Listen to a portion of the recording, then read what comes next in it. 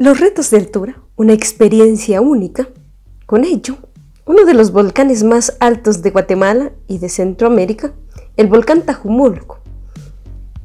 Este volcán se ubica en el occidente de la República de Guatemala, específicamente en el departamento de San Marcos. El volcán Tajumulco es con mayor altura en Centroamérica, a 4.200 metros sobre el nivel del mar nos espera una experiencia inigualable.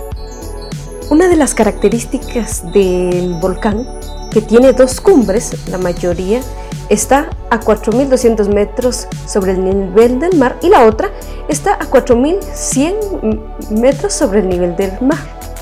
Y que este otro lado del volcán, llamado Cerro Concepción, hacia el lado suroeste, cuenta con 4.100 metros y las vías de acceso son tres, en las cuales dependiendo de la altura, el lugar y hacia dónde, así es el tiempo de ascenso al volcán.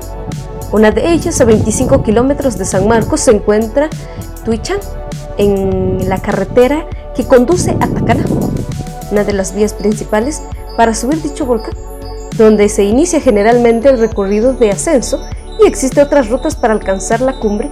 Sin embargo, son más exigentes en cuestión a la condición física y también al trayecto de dicho volcán.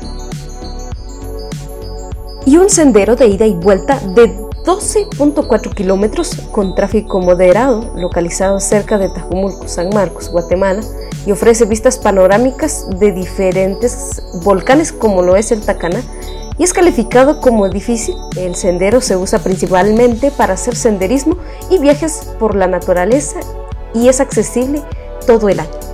Uno de los acontecimientos más relevantes recientemente de dicho volcán es que Bárbara Padilla tuvo que superar la distancia de 66.666 metros, hazaña que logró tras escalar 10 veces el volcán entre el 12 de abril y el 11 de mayo.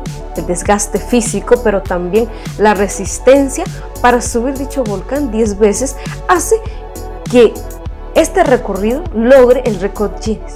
Es por ello que Bárbara Padilla, una deportista que nos hace decir valorar nuestra naturaleza, y al adentrarnos en estas experiencias de altura que posee Guatemala, hace que este esfuerzo haya valido la pena. El disfrutar de este hermoso panorama que ofrece el volcán Tajumulco y en algunas ocasiones es posible disfrutar de nevadas en ciertos momentos. Así que Guatemala tiene grandes prospectos. Somos la bonita 502 de Guatemala para el mundo, por María Orozco.